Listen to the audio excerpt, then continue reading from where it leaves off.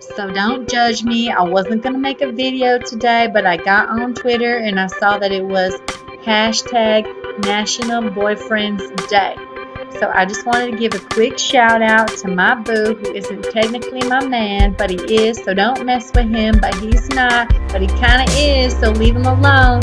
Happy National Boyfriend's Day to you. You know who you are. Hey, what's up, everybody? It's Amie Regester from Greater Than Rubies coming to you live from my new job. I'm at the Arroyo Grande SDA Church in California. So I'll be here another year, and hopefully, I have more time to spend on videos and the blog and keeping up um, the Greater Than Ruby stuff than I did last year. Sorry about that. So, it is National Boyfriend's Day, which is a really good time to do a video uh, I want to do kind of a follow up to one I did about how to get a guy to notice you. This is a godly man, somebody who's interested, you're interested, but thus far you've gone to church potlucks or other Christ centered meetings, and all you've done is like stare across the room at each other and just wish, you just wish that he would pay attention to you, that he would take it to the next level to ask you on a date. If that's you, then today's video is just for you. Okay, let's get down to the question, shall we? Here it is. As a Christian girl or woman who really wants to get a guy to talk to her on hashtag National Boyfriend's Day, is it okay to make the first move?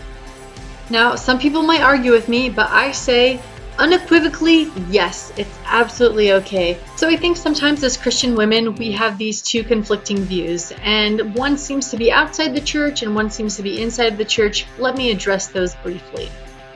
Viewpoint number one would be the empowered women view, the view that feminism tells us it says anything you want to do, you should do. You're a woman, you're as good as a man, you're as strong as a man. So if you want to ask a guy out, you make the first move. Don't feel bad about it at all. Just be unapologetically out there and get what you want.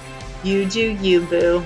The second opinion, which seems to come from inside the church, is this kind of view of a man and a woman's roles, their physiology, and how they were made. And it says that, hey, guys were meant to be more aggressive, they're made to pursue. So you actually rob them of the, the natural joy they have of being in the chase. And so you don't want to go and be too aggressive because then he won't know that you're a prize to be won and you'll never feel as if you were pursued or desired.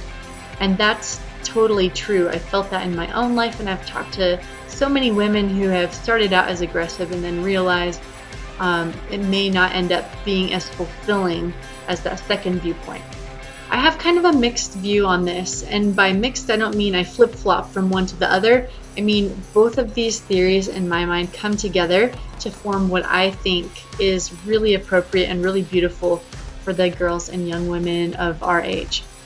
I think that there is a solution for the empowered woman of our age who is also of the belief that a man should do most of the pursuing. Let's find a happy medium here, people. The girl I mean, we've got a group of encouraging friends who, if we put ourselves out there for a guy and he doesn't like us, we come back to them and they're like, oh, he doesn't know what he's missing. You're so beautiful.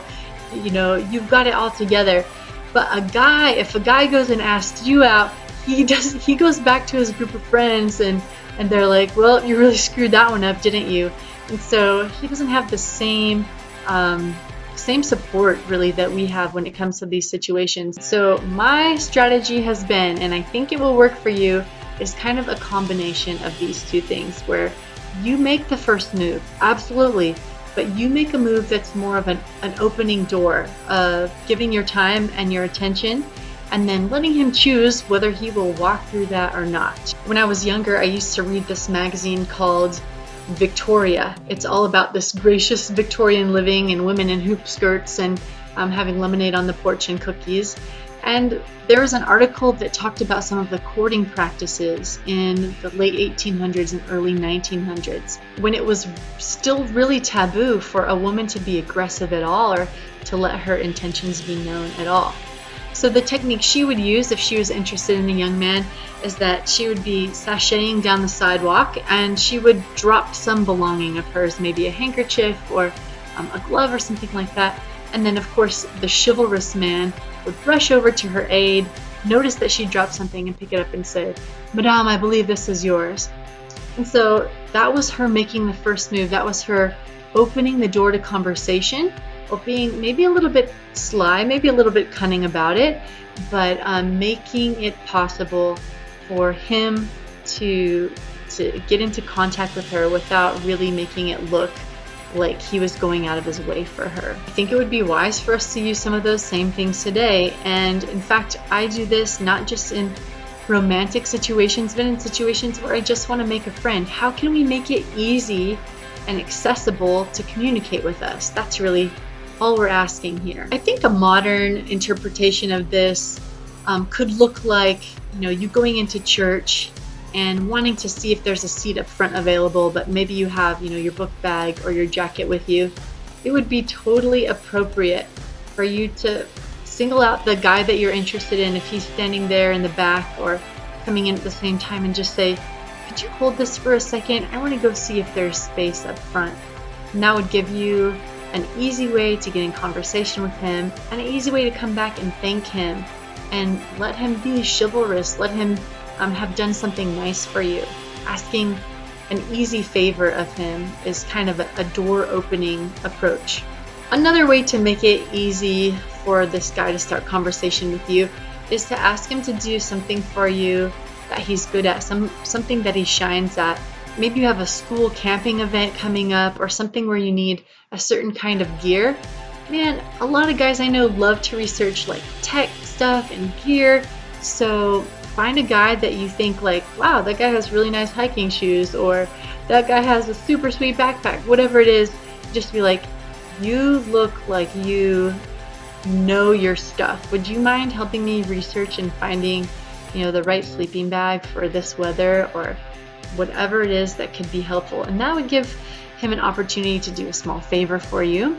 That would also give you an opportunity after you get it and try it out, if you like it, just to go back and thank him for his help on making those kind of decisions. So those are just two easy ways I'm sure you can think of of a bunch of them, but the key is look for a way to ask for a small favor um, and look for a way to highlight something that he might already be good at um, as a way to start the conversation, open the door, and then if he doesn't take you up on the conversation and it ends there, hey, that's that. There are many other interesting young men in the world. So, um, happy National Boyfriend Day. I hope it works out for you and whoever that cute, godly man is. Go get him, Tiger.